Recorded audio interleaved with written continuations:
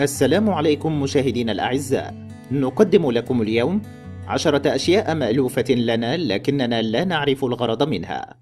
إننا محاطون بالآلاف من الأشياء المألوفة لدينا التي نراها كل يوم ونتعامل معها على أنها أشياء ضرورية لكننا لا نعرف لماذا صنعت وما هي فائدتها.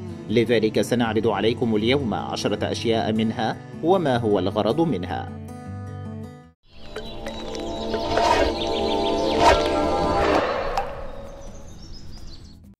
واحد. جيب داخل الجيب. لابد أن تكون لاحظت أن أي سروال جينز يوجد به خمسة جيوب. اثنان خلفيان واثنان أماميان وهناك جيب صغير داخل الجيب الأمامي. وتقريبا لا أحد يعرف ما الغرض من هذا الجيب. كان هذا الجيب يصنع قبل 145 عاما خصيصا للساعة. وسمي وقتها بجيب الساعة ولا يزال موجودا حتى يومنا هذا. اثنان علامات بارزة على لوحة المفاتيح. لابد أن تكون لاحظت وجود علامات بارزة على حرفي F و J في لوحة المفاتيح وكثيرا منكم لا يعرف لماذا توجد هذه العلامات. لكن هذه العلامة وجودها ضروري جدا لكي تستطيع الكتابة على الحاسوب بأصابعك العشرة من دون الحاجة للنظر إلى لوحة المفاتيح وهي مفيدة جدا لمن يحتاج عملهم للكتابة السريعة على الحاسوب. ثلاثة حد معدني في شريط القياس. كلنا يعرف الطرف المعدني الذي على شكل زاوية قائمة في بداية شريط القياس ونعرف أنه يستخدم لتثبيت الشريط وللقياس بسهولة.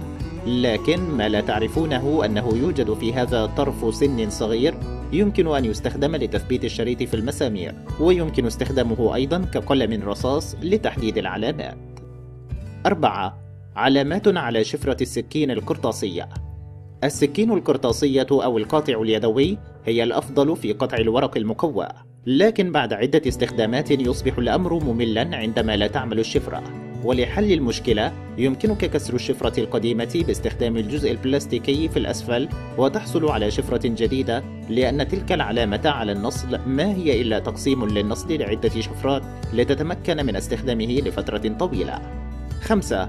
جزء اسطواني في الشاحن الجزء البلاستيكي الموجود في كبل شاحن الحاسوب المحمول كثيرون يعتقدون أنه لا فائدة لتلك الأسطوانة لكنها مهمة جدا وهي تستخدم كفلتر الفريت ويستخدم لتحسين نوعية الإشارة الرقمية من خلال منع الترددات العالية في الدوائر الكهربائية. وهذا كيف يبدو من الداخل؟ 6. الجزء الأزرق في الممحاه كثير من الناس يعتقدون أن الجزء الأزرق في الممحاة هو المسؤول عن مسح الحبر والجزء الأحمر هو المسؤول عن محو الرصاص. لكن يصعب الجزم بهذا والحقيقة هي أن الجزء الأزرق يستخدم أيضا لمحو الرصاص. لكن مع اختلاف سمك الورق فكلما كان الورق مكون أو سميكا يفضل استخدام الأزرق حتى لا يترك أثرا للرصاص على الورق. سبعة ثقب في نافذة الطائرة. عندما تكون على متن الطائرة تندهش عندما تجد ثقبا صغيرا في النافذة المجاورة لك.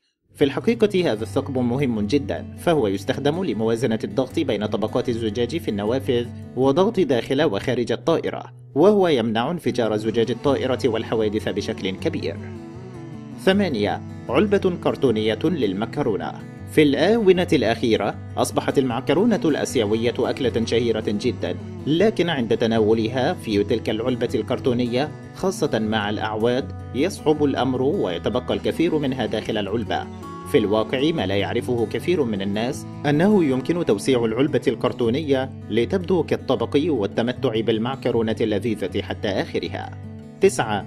كرات من الصوف أعلى القبعات الشتوية تلك الكرة التي تعلو القبعة ليست بالطبع للزينة. لكن في الواقع استخدمها البحارة الفرنسيون لحماية رؤوسهم من الأسقف المنخفضة لغرفهم في السفن من أكثر من 200 سنة. كما أنها كانت تعتبر من العلامات المميزة للضباط في الجيوش. عشرة. فتحات أعلى غطاء القلم. صنعت هذه الفتحات خصيصا لحماية الأطفال. كثيرا ما يحب الأطفال وضع تلك الأغطية في فمهم لذا فكر المنتجون أنه في حالة ابتلاع الغطاء ستعمل هذه الفتحات على السماح بمرور الهواء ولا يختنق الطفل. هذا كل شيء مشاهدينا الأعزاء، شكرا لكم على مشاهدة الفيديو، لا تنسوا الإعجاب به والاشتراك بالقناة. دمتم بخير.